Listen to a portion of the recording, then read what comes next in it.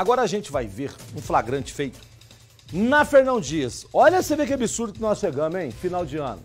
Lá próximo de São Gonçalo, Sapucaí. Motorista do caminhão do Sedex parou e atravessou a pista para tomar um café do outro lado.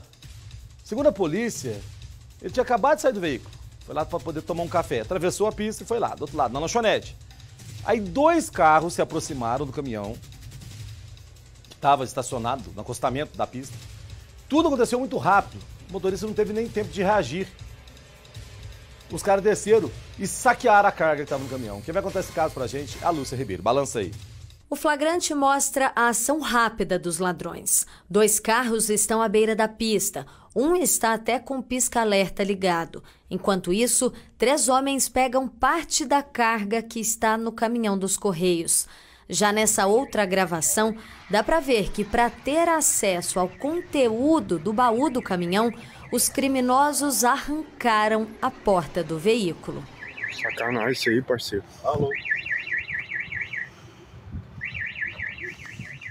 Por sorte, nem tudo foi levado. Esse furto foi registrado no quilômetro 784 na Fernão Dias, BR 381, sentido Belo Horizonte. Testemunhas contaram para a polícia que viram quando o motorista parou o caminhão no acostamento e atravessou a rodovia a pé. Ele queria tomar um café numa lanchonete que fica do outro lado da pista. Passava das duas da manhã. Só que o que esse motorista não imaginava é que essa paradinha rápida resultaria em todo esse prejuízo. Esse registro, segundo a polícia, foi na altura de São Gonçalo do Sapucaí, no sul de Minas. Os criminosos ainda não foram identificados, mas câmeras de segurança espalhadas pela Fernão Dias devem ajudar nessas buscas. Os Correios não informaram o valor do prejuízo causado pelo bando. A Polícia Federal deve assumir as investigações desse caso. Ô, ô, ô Michele Miac, você viu ali que alguns envelopinhos ficaram pro chão, né? Porque eles viram que uma coisa que não tinha volume, né? Olha lá, aí deixaram um punhado de envelope pro chão ali, mas arrancaram a porta. Será que esse pessoal já estava seguindo esse caminhão? Ou será que, vamos falar no popular, a oportunidade fez o ladrão?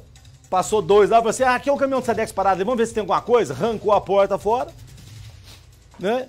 Imaginou por, por conta do fim de ano, por conta do Natal, que poderia estar cheio de encomendas, né? E foi só arrancando e guardou dentro do golzinho bola lá, ó depois vazaram na braquiara. Ai, mas vou te falar, o brasileiro tem que ser estudado mesmo, viu? Até pra maldade.